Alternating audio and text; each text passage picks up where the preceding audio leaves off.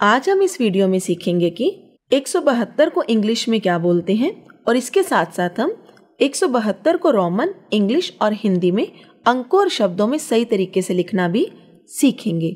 172 को इंग्लिश में हम 172 कहते हैं और इसकी स्पेलिंग होती है O N E one H U N D R E D hundred A N D and S E V E N T Y seventy T W O two और रोमन में एक सौ बहत्तर को C, L, X X, I I लिखा जाता है।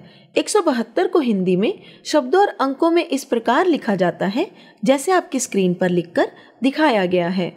ऐसे ही और वीडियोस देखते रहने के लिए हमारे चैनल को सब्सक्राइब करें। अगर आपको हमारा प्रयास पसंद आया है तो हमारी वीडियोस को लाइक करें। आपके लाइक हमारे लिए बहुत मायने रखते हैं।